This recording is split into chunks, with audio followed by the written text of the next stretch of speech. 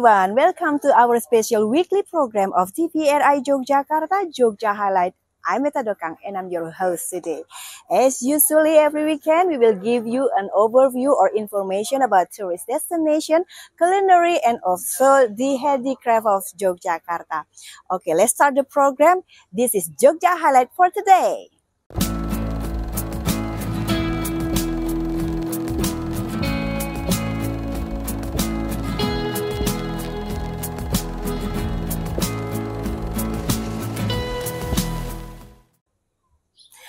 Let's start the program with open the culinary segment. We will give you uh, information about the typical menus from Yogyakarta. Not only that, we will take you around Yogyakarta to go to some places that have combination, good menu and good atmosphere and of course affordable prices. Okay, this is culinary segment in Jogja Highlight.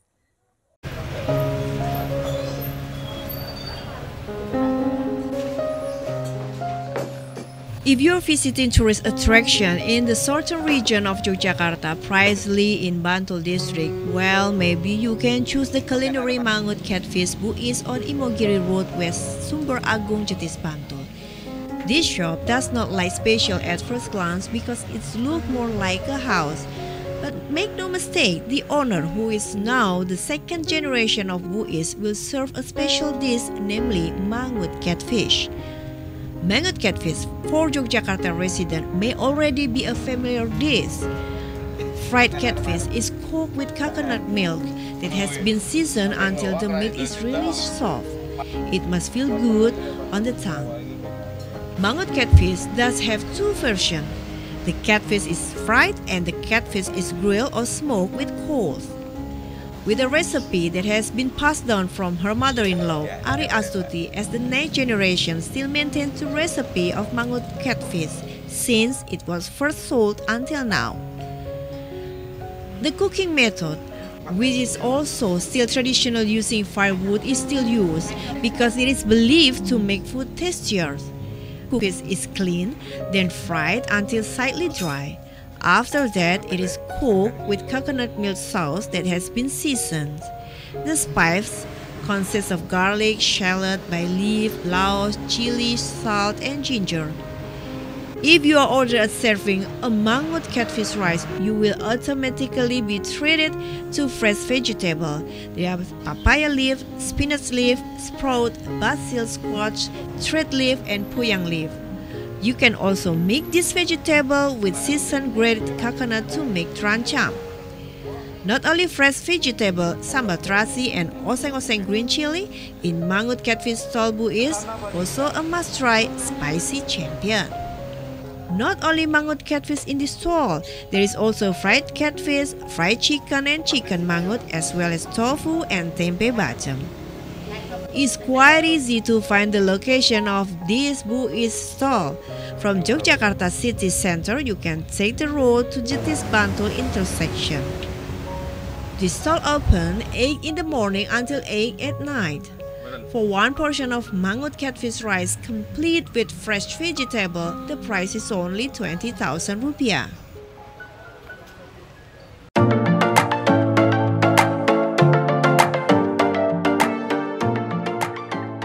Many business places closed due to the COVID-19 pandemic did not discourage culinary entrepreneurs from continuing to develop their business. The typical culinary business of the sea still has prospect even amid the pandemic. COVID-19 pandemic has a major impact on the culinary business sector. In order to continue to be able to survive, culinary business activities must adapt to new community behavior such as strict health rules and limit time and capacity when operating. One of the culinary business actor, Agus Santos, states that business actor must change marketing strategies that are relevant to current condition. According to Agus, the culinary business still has prospect even in the midst of a pandemic. The selection of minus and location of culinary business is also very influential of the existence of culinary business that can survive.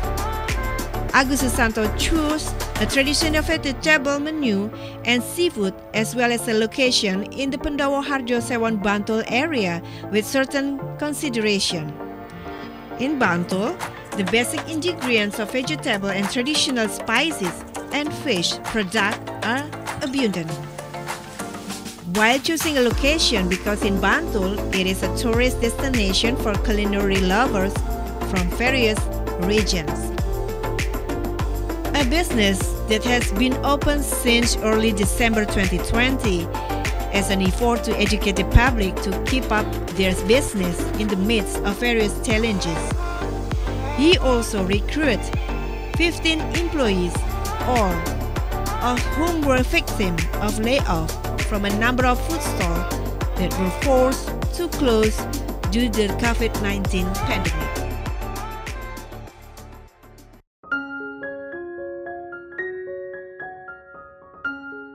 Local culinary that is now rarely found and even increasingly rare is being hunted by residents.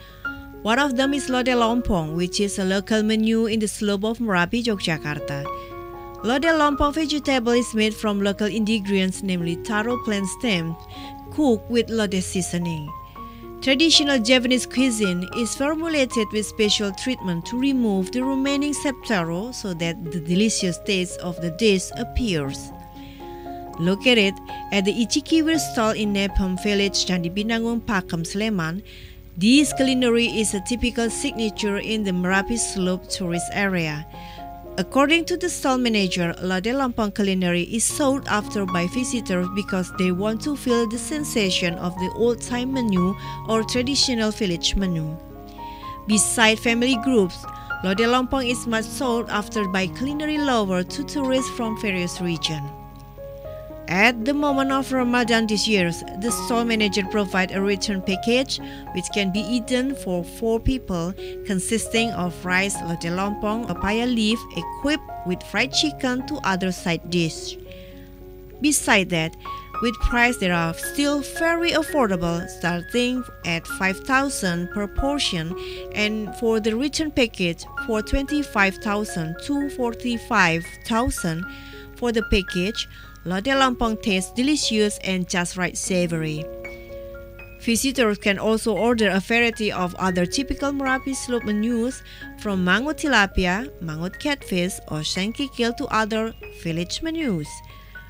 For tourists who want to enjoy the natural scenery of the slope of Merapi, this shop also provides electric scooter with rural atmosphere routes to rice fields.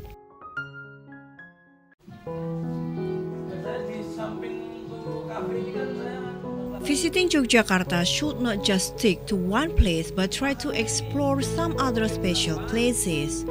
One of them is Omah Kopi Menoreh. Omah Kopi Menoreh is in Kulon Progo district, precisely in Madigondo, Sariharjo, Samigaluh, Kulon Progo. This coffee shop is currently popular among coffee lovers. Actually, this coffee shop has been open since 2014.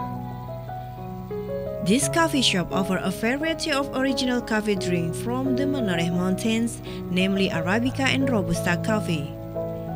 The authenticity of the coffee is the main attraction because visitors can really taste the typical coffee drink of the Menoreh Mountains directly from the farmers.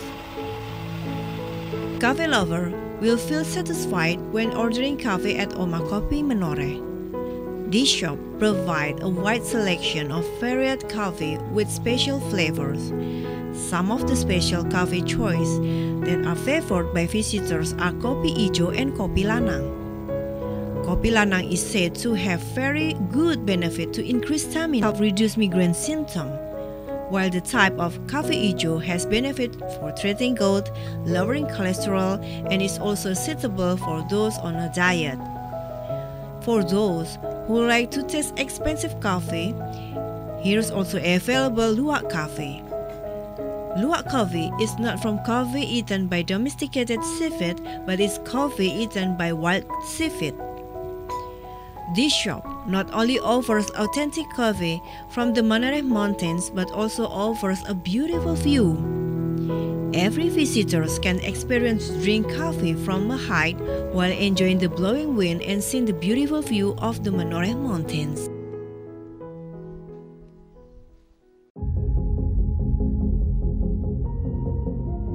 A group of housewives in Balecatur village, Gamping, Subdistrict, Sleman District, Yogyakarta Special Region is able to produce traditional ready-to-eat drinks. The production is also in demand in the market so that it's become one of the source of income.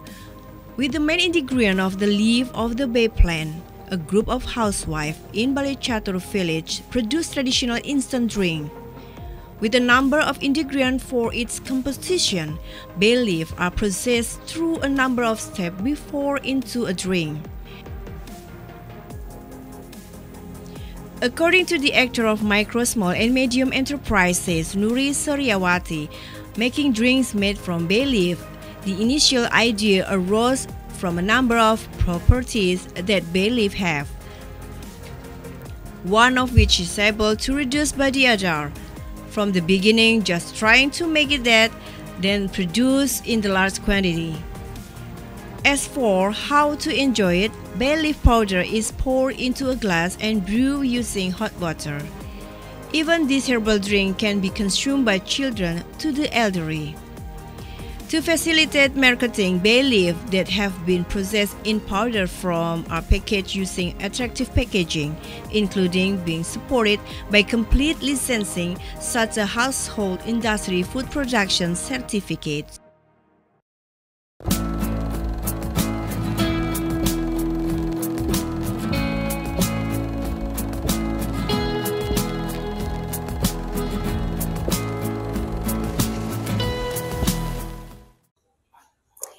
Every day, tourist destination in Yogyakarta has sprung up. Now, we will give you an information and take you to another places that maybe you and your family never go been there. There is several places that have the water-based tourist destination. So we will go check it in the tourist destination segment.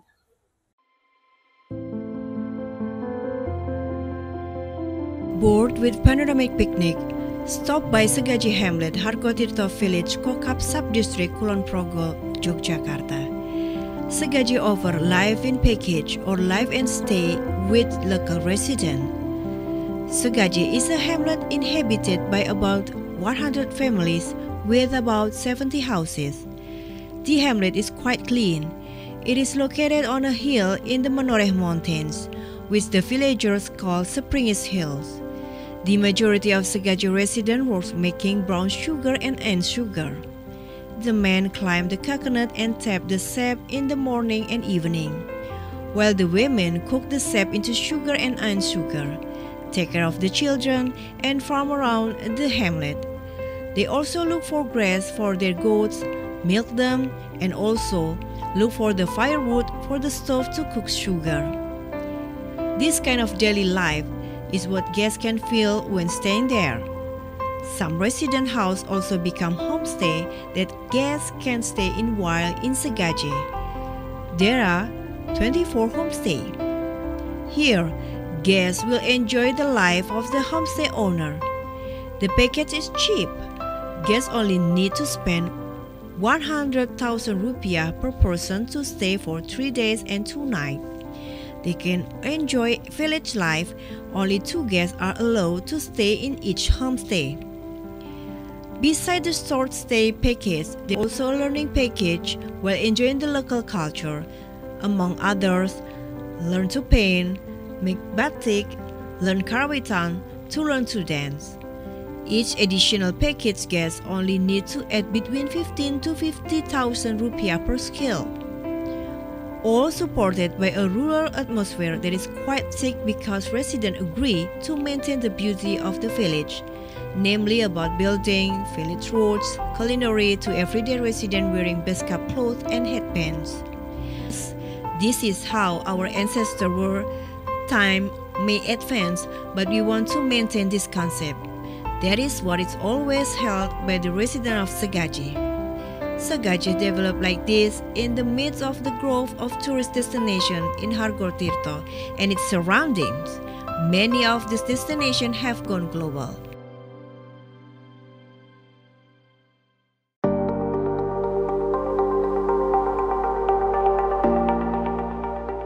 Maria Cave Queen of Peace Jatiningsih Lakes is one of the places worth visiting to fill the vacation. Located in Jitar Hamlet, Sumber Arum Village, Moyudan Subdistrict, Sleman District, the cave, which was built in 1986, was blessed as the cave of the Queen of Peace in 2000 by the Archbishop of Semarang, Monsieur Suharyo PR. Under the thick trees on the bank of the Progo River, no wonder if this Maria cave is so cool and beautiful. The existence of Sendang Tirtawening Banyu Panguripan or Tirtawening Banyu Panguripan Lake also adds the coolness. The atmosphere is calm and peaceful so that pilgrims can pray solemnly when doing religious tourism. At first, this cave was named Sendang Pusung or Pusung Lake then the name was changed to Sendang Jatingse or Jatiningsih Lake, which means the God, which truly bring peace. As a place of general pilgrimage for Catholic, the Cave of Maria Sendang Jatiningsih has several supporting facilities, including the courtyard, spring complex, hall, chapel, and the Road of the Cross. As for religious tourism location, not far from the Cave of Maria Sendang Jatiningsih, which can also be visited, are the Cave of Maria Lawangse and the Cave of Maria Lourdes Sendang Sono. This location leads to the west located in Kulon Progo district.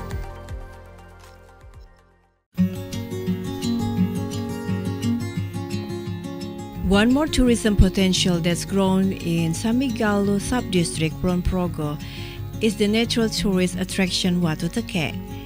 This natural tourist attraction Watu Teke is located in Madigondo Hamlet, Sidoharjo village, Samigaluh subdistrict, Kulon Progo.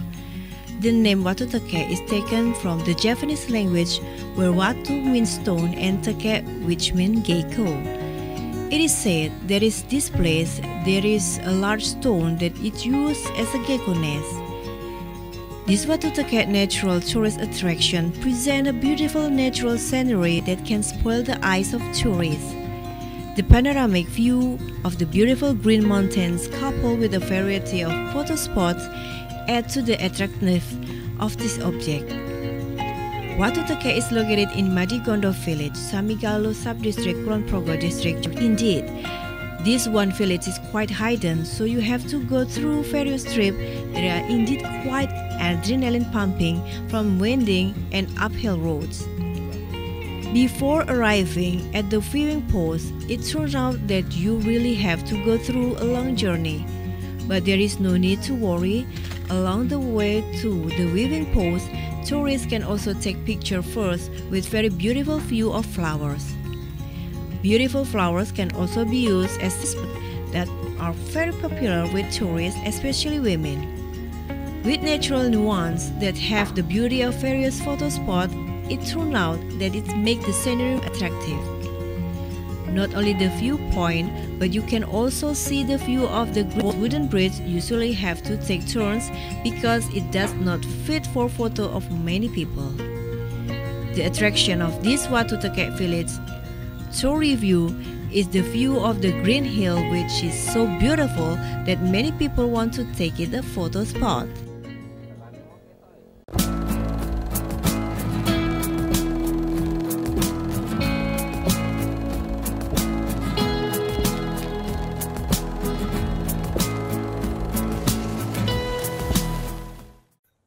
Now it's time to us to introduce you the handicraft of Yogyakarta or the creative industry in Yogyakarta. But right now, we will give you an overview about the style of Yogyakarta, typical style of Yogyakarta. There is a lurik. So let's go find out in the handicraft or creative industry segment.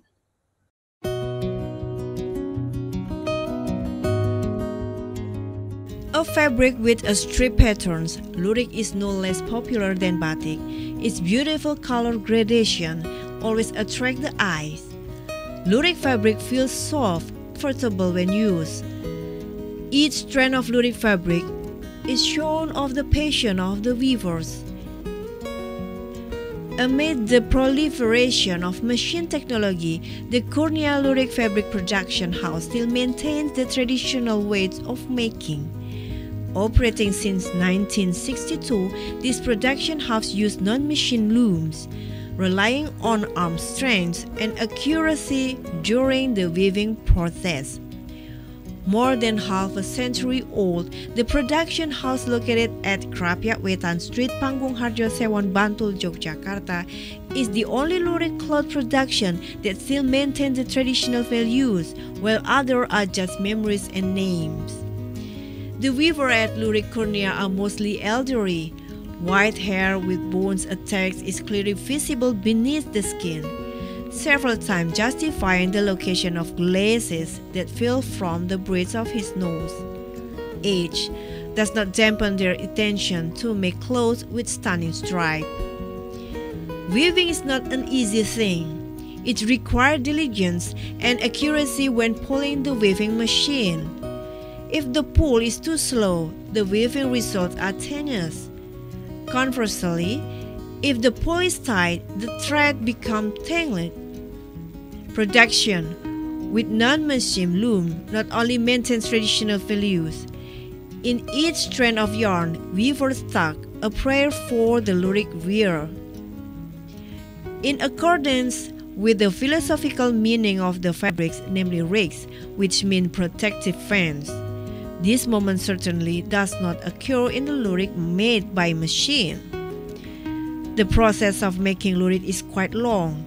First, the raw yarn is colored after which is left to stand for a day.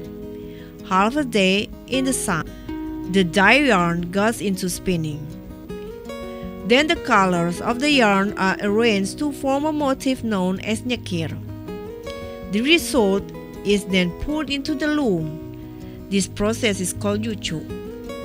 It takes about 30 days to produce 100 meters of lurik fabric.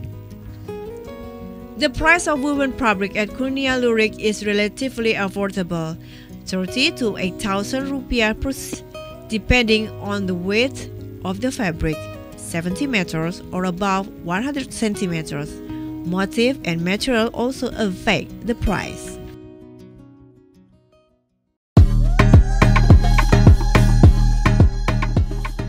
During the month of Ramadan, of course, many people, especially Muslim, also prepare various things for Eid, not only food, but of course also clothes.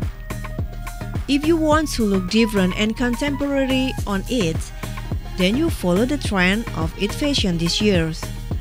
One of the famous young Indonesian designers, Lani Amborowati, recently displayed her fashion work which can be an inspiration for the community, especially Muslim women from young and mature circles.